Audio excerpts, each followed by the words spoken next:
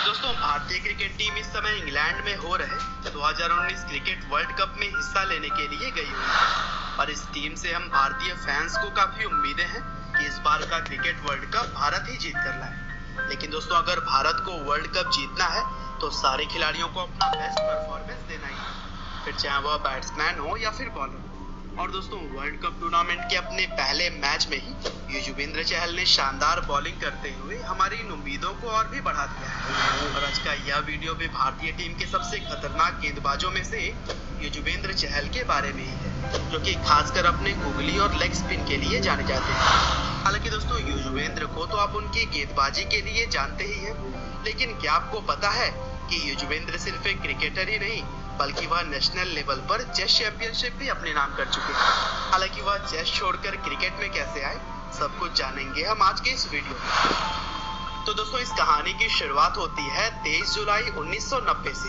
जब हरियाणा के जिंद शहर में युजवेंद्र चहल का जन्म हुआ। उनके पिता का नाम के के चहल है, जो कि जिंद कोर्ट में बतौर एडवोकेट काम किया करते थे। वहीं उनकी माँ का नाम सुनीता देवी। और दोस्तों, युजवेंद्र चहल को घर में सबसे छोटे होने की वजह से खूब प्यार भी मिला, क्योंकि उनसे बड़ी उनकी दो बहनें और हैं। और दोस्तों, वैसे तो चहल को बचपन में क्रिकेट के खेल में कोई खास दिलचस्पी नहीं थी, लेकिन उन्हें चेस खेलना बहुत ही ज़्यादा पसंद था।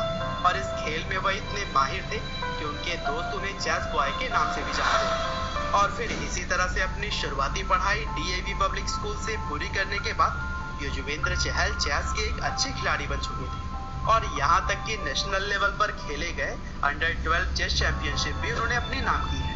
इसके अलावा एशियन यूथ चैंपियनशिप में भी भारत को उन्होंने रिप्रेजेंट किया। हालाँकि अभी तक युजवेंद्र ने चेस के खेल में अपना करियर बनाने का सोच लिया था।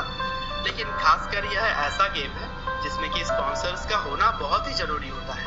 और अब यहाँ से आगे बढ़ने के लिए युजवेंद्र को 50 लाख रुपयों की ज़रूरत थी। लेकिन दुर्भाग्य से कोई भी स्पॉन्सर न मिलने की वजह से युजवेंद्र को मजबूरन इस खेल को छोड़ना पड़ा और अब चहल ने क्रिकेट की तरफ़ अपना ध्यान केंद्रित करना शुरू कर दिया।